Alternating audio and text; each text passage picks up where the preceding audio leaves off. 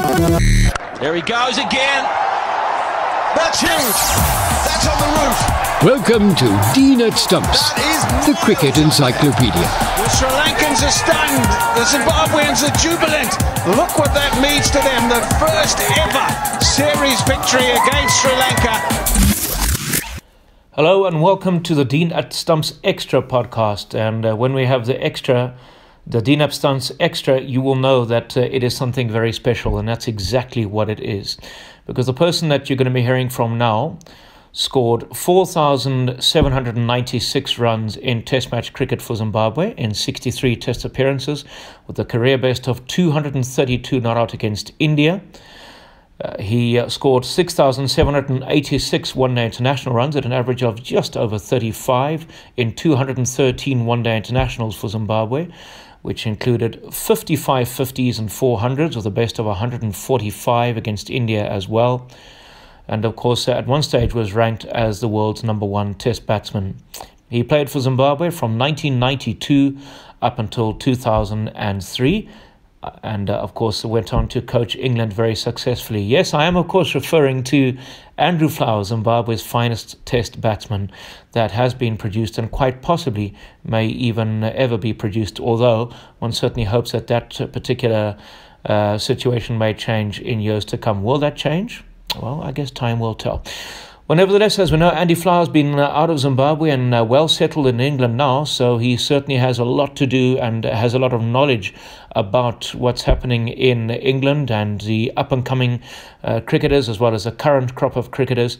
And uh, he started off by, first of all, talking about the current England team and as to why they are so successful.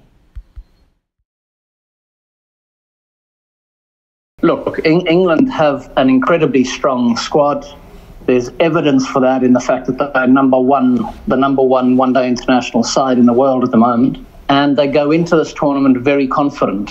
Uh, the, I suppose, the only two controversial um, or uncertain aspects to the squad are uh, who Jofra Archer is going to replace I mean, the discussion over whether he's going to be in the squad or not, I think, is over from the way he's performed, uh, not only in franchise cricket, but in his two short chances, two or three short chances he's had with England.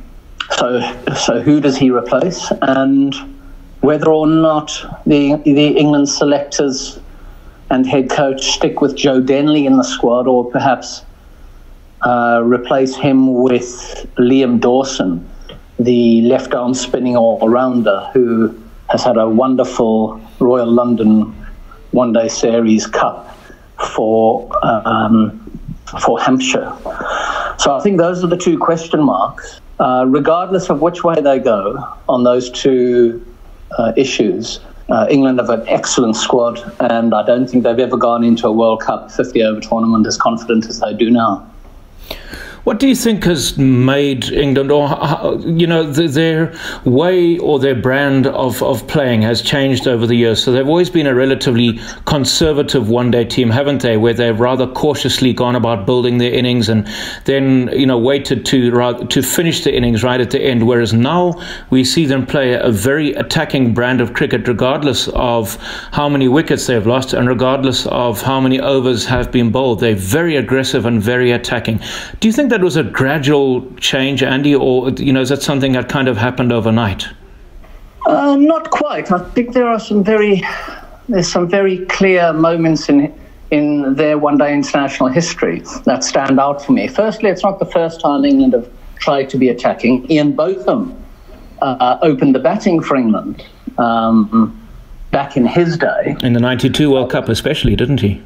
He did. Yeah. Uh, it was just when he was coming to an end on the international stage, um, but helped them get into the final.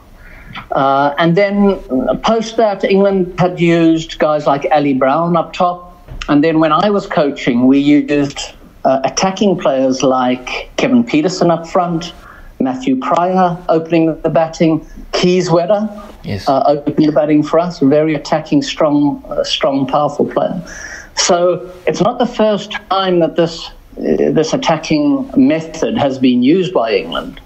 However, I, I do think they've ramped it up significantly uh, under Eoin Morgan Uh, and and like with most things um, that need or want change, the urgency was generated uh, through a bad, really bad team performance at the 2015 World Cup in Australia and New Zealand, when England were bundled out um, in the in the early rounds. I think with a really bad loss to finish the tournament against Bangladesh. I think it was in Adelaide. Yes. And I think, and uh, Eoin Morgan captained that side. I think the England selectors let Alastair Cook go shortly before that tournament started.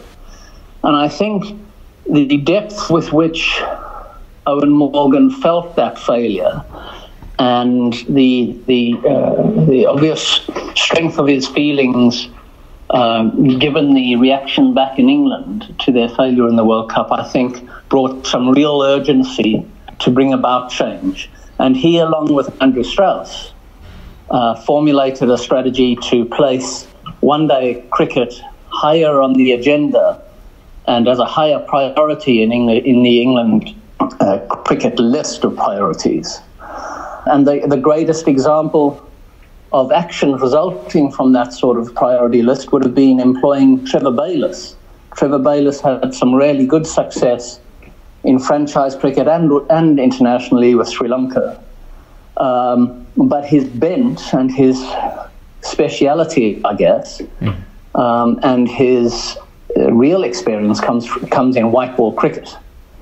Uh, he'd had success at the IPL, um, and uh, Andrew Strauss brought him in specifically, uh, targeting this World Cup. So Eoin Morgan and Trevor Bayliss have put their heads together and uh, they, they formulated quite a clear strategy, um, picking certain types of players, for instance, uh, spin bowlers, uh, leg spinners that could turn the ball both ways, uh, a skill development around being able to either turn the ball uh, against a left hander, away from a left hander, or away from a right hander, uh, and in- introducing seamers that could bowl slower balls that could cut the ball either away from a right hander or left hander. Yeah. Um, and uh, and a much more attacking philosophy was the bat. Um, they've also picked a lot of all rounders. So in some, some of their sides, you have guys like Liam Plunkett batting at number 11. And Liam Plunkett could bat at number eight in other sides. So I think, you know, um, this emphasis on white ball cricket has done English white ball cricket the world of good. And that's why we're in this very powerful uh, position. It's it's wonderful to hear your insights and, and to hear your thoughts. And I'd like to now shift the uh, converse, conversation a bit to you now. You have had an incredible amount of success, be it as a player um, and, and certainly as a coach as well. What uh, try and, and, and compare, if you may, the differences of having uh, success uh, or moderate success uh, with, with, with when you played Test cricket, I guess a team which had moderate, moderate success to then coaching a team which had a great deal of success while you were at the helm of coaching. What would the differences be? Well, uh, that, that was an interesting, interesting contrast for me to experience. Obviously, we didn't win that many games um, uh, when we played for Zimbabwe. Uh, but certainly, I think the principles of maximizing your potential uh, as an individual and as a team still hold true, whether you're in a, a very powerfully resourced uh, sporting nation or a lesser one like Zimbabwe. Zimbabwe's only got 12 million people. Uh, most of them would not have cricket in their blood. Uh, whereas in England and some of these other uh, big cricketing nations, the resources are uh, pretty substantial. So I think those the, the principles um, still hold true. The principles of success, or trying to get the most out of yourself. Uh, uh, and it was a real privilege to to move from a small cricketing country uh, and then coach England. You know, coaching England is one of the most sought after and important posts in world cricket. Uh, and um, and it was a it was a real pleasure and a privilege to be involved with them. I think the some of the challenges of uh, understanding the England system, and and uh, when I say the England system, I'm talking about county cricket. Yes. I'm talking about the relationship with the counties, uh, the the uh, quite crucially your relationship with the media, uh, which can be pretty tricky, um, and obviously, like in any job, um, managing up as well as down and sideways. So. Uh, as, as the head coach or technical director, I think I was called, or team director, I was called at that time. You know, there's quite a lot of facets to the job, which make it fascinating uh, and really challenging and uh, particularly rewarding. Was it difficult at times to coach a team with a lot of very big names? Uh, and, and to try and get them to play together as a team. Because as an outsider looking in, we always got the feeling that you know England were a very tight unit. But then, I, and I mean the successes that you had, Andy, as coach and, and as a team as well. Uh, the home and away Ashes series wins. In 2009 home 2010 away from home in Australia. The the, the series win over India in 2012 gave us the impression that England were an incredibly tight unit as a team. But then, dare I say, after maybe the, England's um, home series to South Africa, it then started to appear that that possibly may not be the case. And I mean, obviously, I'm referring to what happened with, with Kevin Pietersen and, and everything else that, that happened after that. So, you know, um, was it difficult to, to manage a team with a couple of very strong egos as well? I think in any in any team, whether it's in a sport or a team uh, in an office or or a team working down a mine, there are always going to be different characters and different egos involved. And it's always tricky managing people, or, uh, you know, relationships are tricky. You just look at your relationship uh, with those closest around you if you are lucky enough to have a family. And you are relationships are, are pretty tricky, uh, whether you're in elite sport teams or other areas. So, in, in short, yes, it is. It, it was tricky. Um, and I suppose there are some differences with Zimbabwe because you you are talking about sportsmen who at, um, are growing their brands in quite a different environment. And in addition to the normal challenges of managing groups. We had the IPL, which was beginning, and franchise cricket, which was starting to draw the attention of our players, uh, obviously to pretty green pastures. Mm-hmm. Uh, so, and it wasn't just Kevin that, that made it tricky to lead that group. You know, uh, we all have our strengths and our weaknesses. So, uh, I, I I actually found that challenge of bringing people together uh, fascinating.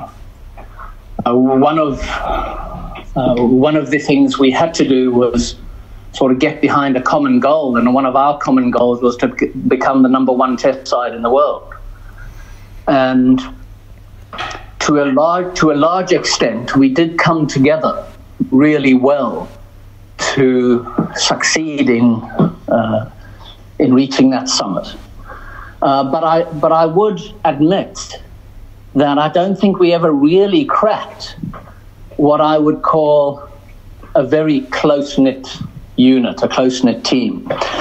And the result of that, if you don't really get that full buy in, and that's one of the skills of great leaders, I suppose, and we, and I'd say we didn't quite get um, if you don't get that buy-in, you might see those cracks open up when you don't win or when you have a little sustained period of not winning. And we saw that during the um, first, the first cracks opening up during that South African series that you've just referred to. Uh, but then more particularly during the Ashes in 2013-14 when we were trounced 5-0. Yes and that's when you really see uh, see what what a team is all about on the team spirit front. I mean, I, I can't remember who said it, but I remember a phrase uh, that some famous sportsman used around team spirit, saying that team spirit is something glimpsed only in victory. And while I think that's entertaining and contains a lot of truth, I think you see true team spirit during those tough times. And unfortunately, our lack of real unity was exposed, uh, which meant that a group um, splintered at the end of uh, 2013 14 as a player uh, in a team where uh, or a team which experienced a lot of tough times do you feel that the team spirit you know was there a genuine te- team spirit in the zimbabwe team for the most of the times? I mean naturally there would have been times where there would have been a few um, you know uh, people at loggerheads that's natural. But generally speaking what was a team spirit like when you were a test player for zimbabwe well, I think I, w- I was probably one of the trickiest guys to, ma- to, to, manage. Probably not early on when, I first started hmm. um, as a youngster. And I used to sit in raptures listening to guys like John Traicos and Malcolm Jarvis, Dave Houghton, uh, Andy Pycroft, uh, Bundu Waller, etc., talk about the game. And we had incredible fun together, made some really lasting uh, friendships from that group of older cricketers. Yeah. But then, um, uh, you know, things evolve and money started coming into the game in Zimbabwe. Initially, when I first started playing, we didn't get paid anything to play. Um, and those guys I mentioned were all professionals in other areas of the economy. Um, and I was, myself, my brother Alistair Campbell, Dave Houghton were all employed as coaches.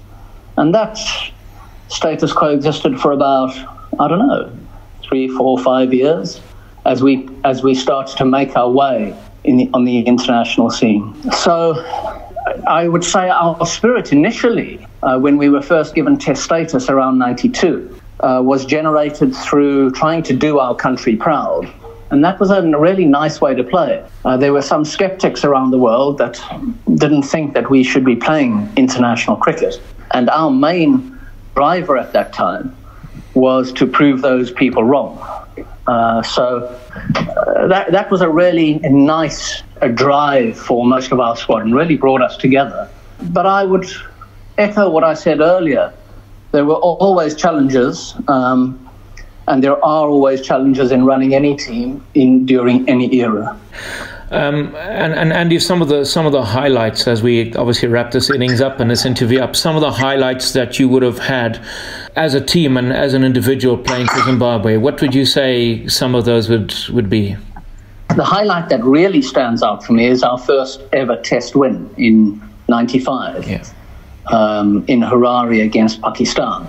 That was so important in my mind because we had been we'd been given test status in 92 we were fighting hard for respect as i mentioned earlier uh, but we really needed to get that monkey off our back the monkey being when will they win a test match?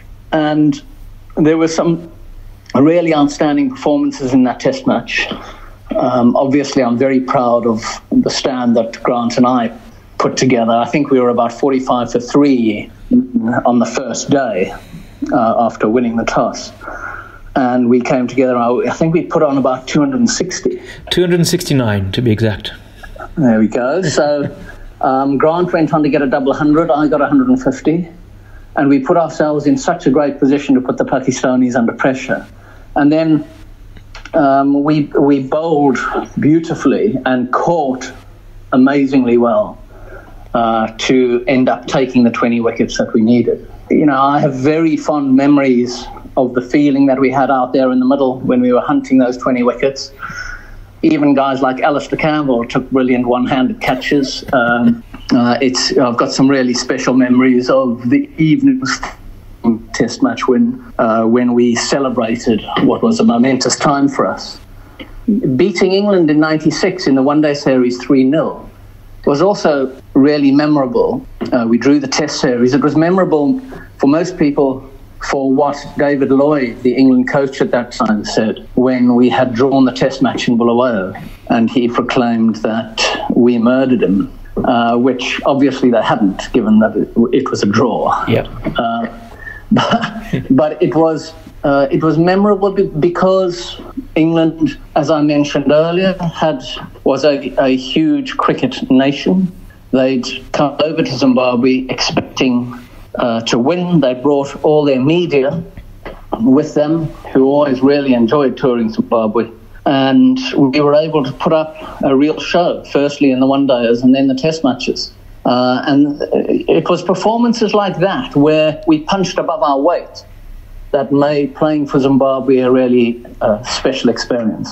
The 540 runs that you scored when Zimbabwe toured India in 2000 propelled you from being just outside the top 10 in world cricket or in test cricket, you as an individual, to the world's number one ranked test cricketer. What amazed a lot of us was the way that you went about every one of those innings 183 not out, uh, 70, 55, and 232 not out. But a lot of times Zimbabwe were on the back foot, and yet you somehow managed to play as as positively as the game and the situation allowed you to do, Andy, which made it so very special. I mean, just talk to us as much as you can remember about that particular phase of your life as a test batsman, because pretty much everything that you did came off and everything you touched turned to gold. Yeah, I mean, that was a pretty uh, enjoyable tour, obviously, from a personal perspective. Uh, it was lovely spending that time out in the middle uh, in Test match cricket. Um, I loved touring India. Firstly, that was uh, we toured India on my first away Test tour.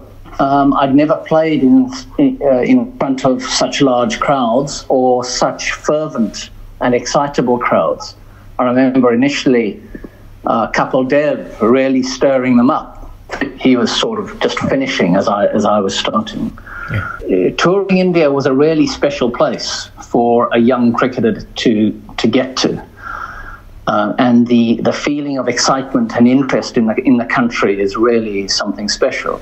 I, I think the other factor that I remember very clearly about that series was playing spin. And I was I had been very lucky to be taught how to play spin by Dave Houghton. Dave Houghton himself was an excellent player of spin, um, and I'd watched him closely and spoken at length with him about some of his theories of playing spin, and that helped me tremendously. Also, a lot of our early series were against subcontinent sides because those were the uh, the boards or associations that invited us to play international cricket at that time. So we learned how to play spin a little, probably faster and easier than than we did uh, learn how to play the genuine quicks on bouncy pitches. So that certainly helped in that regard. But great memories. And then, uh, of course, your hundreds against South Africa, back to back hundreds in the same test match against a very, very good pace attack, I would imagine, would stand out quite nicely for you as well in, in 2001. That was an interesting test match, not least because when we were having a drink in the dressing room afterwards, after that match ended, uh, 9 11 was just happening and we were seeing some of these pictures on our TV screen in the dressing room, um, which was uh, pretty weird. Uh, but yeah, but yes, the, the innings against South Africa in that Test match uh, were really satisfying. Uh, they they did have a good attack, and it was nice to be able to spend that sort of time in the middle against them. I remember uh, a good friend of mine, Pommy Mbangwa, who was playing in the game and batting 11 uh, came out uh, to uh, uh, to bat with me. I think you know we were struggling in the game as a as a team, but he came out and I was getting close to 200, uh, and um, and he just had to survive one or two balls. Uh, at the end of one over, and he nicked off with me on 199, and I never let let him hear the end of that. Andy, uh, it's been wonderful talking to you. Um, it, it, really has. Uh, do you ever see yourself at some point once again re-establishing ties with Zimbabwe cricket? You know, some years down the line, or do you think that that's a, a chapter that, that is behind you and it's now a closed book? I wouldn't say it's a closed book at all. I visited Zimbabwe a couple of years ago with my children, and it was so it was great to be back. Um, I think Zimbabwe's got a number of really difficult challenges. I would I would really dislike the uh, uh, description of closing a, a chapter or, or certainly closing that book. I want to visit Zimbabwe again and and who knows what's going to happen in the future. Uh, so I've always, I've always really wanted to somehow. I was going to say help Zimbabwe. That sounds really condescending. I'm talking, and I don't want to sound that way. I, I'd, I'd like to contribute to Zimbabwe cricket in some way, but I haven't quite found the way how to do that um, uh, yet. That fits. That fits for me or Zimbabwe. Well, well, well. First of all, it was wonderful talking to Andy Flower. Secondly, the great man made a mistake because it wasn't Pommy Mbangwa who was with him when he ended unbeaten on 199. It was Dougie Hondo who, uh, of course, was making his test debut against the South Africans. Definitely not Pommy Mbangwa. Certainly, Pommy was with Andy Flower when he got to a 100 against Sri Lanka. In Sri Lanka, that was his fourth test 100 back in 1998. But in 2001, when he was 199 not out, it was Dougie Hondo who had to bear the brunt of Andy Flower's um, leg pulling, well, in quotes, in brackets, leg pulling. So there you are. That was Andy Flower who had a good long chat with us. Thank you very much indeed for listening to this extra podcast, the Dean at Stumps extra podcast. You're more than welcome to subscribe to me on YouTube as well. You simply type in Dean du Plessis and uh, there will be some fantastic interviews for you to listen with Jason Gillespie, Allan Donald, and um, quite a few more as well. Tatenda Taibu, who talks about his book Keeper of Faith. And we have a few more coming up. We have Gary Kirsten lined up, and then a certain Australian left hander as well at some point. Thank you very much indeed for listening, and we'll be back again pretty soon. But until then, it's goodbye.